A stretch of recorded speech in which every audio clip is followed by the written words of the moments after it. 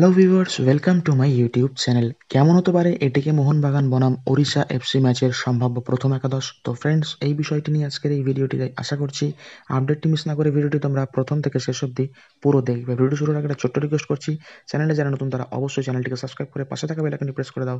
সবার আগে video notification পাওয়ার জন্য। তো চলো ভিডিওটি শুরু করা যাক।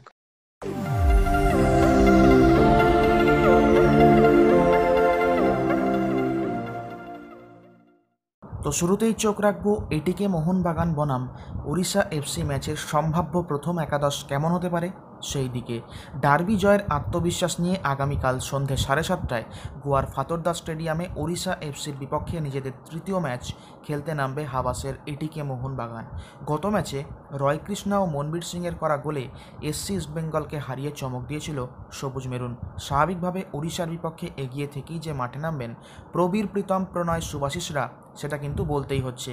তবে ম্যাচের পর কে শেষাশি হাসবে, সেটা তো আগামী কালই বোঝা যাবে। তবে তার আগে দেখে নেব দুই দলের সম্ভাব্য প্রথম একাদশ ঠিক কেমন হতে পারে। প্রথমেই দেখে নেব এটিকে মোহনবাগানের সম্ভাব্য প্রথম একাদশ কেমন হতে পারে। আগামীকালকের ম্যাচে এটিকে মোহনবাগানের গোলরক্ষকের ভূমিকায় থাকবেন সেই অরিন্দম ভট্টাচার্য। রক্ষণে থাকবেন তিরি সন্তেশ জিঙ্গান, প্রীতম কোটাল, প্রবীর দাস সুভাষিস বোস। অন্যদিকে, মাঝমাঠে থাকবেন প্রণয় হালদার, জাভিয়ার হার্নান্ডেস কাল ম্যাগিউ আর আক্রমণ ভাগের দায়িত্ব থাকবে রয় কৃষ্ণা ও ডেভিড উইলিয়ামসের কাঁধে। এবার দেখে নেব ওড়িশা এফসির সম্ভাব্য প্রথম একাদশ কেমন হতে পারে। গোলকিপার হিসেবে খেলবেন কমলজিৎ সিং, রক্ষণে খেলতে পারেন Steven Taylor, Jacob Tratt Shubham Sarangi Gaurav Bora, Henry Antony. অন্যদিকে মাঝমাঠে খেলতে পারেন Kole Alexander Nandakumar Sekar, Marcelo Leite Pereira আর আক্রমণ ভাগে থাকবেন লাইসরাম প্রেমজিৎ সিং, ম্যানুয়েল অনু ড্রিফ্লাঙ্কা এবার দেখে নেব লিগ টেবিলের ঠিক কোন জায়গায় রয়েছে এই দুই দল। পরপর দুই ম্যাচ জিতে ছয় পয়েন্ট নিয়ে লিগ টেবিলের দ্বিতীয় স্থানে রয়েছে এখন এটিকে মোহনবাগান। উল্টো দিকে দুটি ম্যাচের মধ্যে একটি ড্র ও একটি হেরে তথা এক পয়েন্ট নিয়ে লিগ টেবিলের দশ নম্বরে রয়েছে ওড়িশা এফসি অর্থাৎ কালকের ম্যাচে ওড়িশাকে হারাতে পারলেই মুম্বাইকে টপকে লিগ টেবিলের শীর্ষস্থানে জাকিয়ে বসবে হাবাসের সবুজ মেরুন ব্রিগেড। এবার দেখে নেব কালকের ম্যাচের আগে কোন দল এগিয়ে রয়েছে। প্রথমে কেরল ব্লাস্টার্স ও তারপর ডার্বি। এই দুই ম্যাচ জিতে হাবাসের সবুজ মেরুন এখন অনেকটাই শক্তিশালী। তাছাড়া দলে রয়েছেন রয় কৃষ্ণার মতন তারকা ফুটবলার যিনি পরপর দুই ম্যাচে দুর্দান্ত দুটি গোল করেছেন।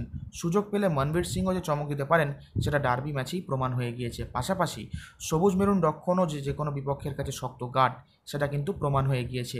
তিরি ও সন্দেশ জিঙ্গানের যুগলবন্দি যে কোনো দলের আক্রমণকে যে অনায়াসেই রুখে দিতে পারে, সেটাও আগের দুই ম্যাচে সবাই দেখতে পেয়েছেন।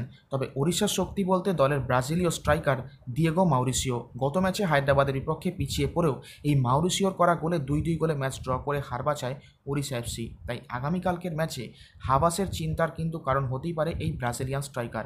যদিও হাবাস এই নিয়ে একটুও চিন্তিত নন, ওড়িশার বিপক্ষে তিন পয়েন্ট পাওয়ার ব্যাপারে তিনি প্রবলভাবে আশাবাদী।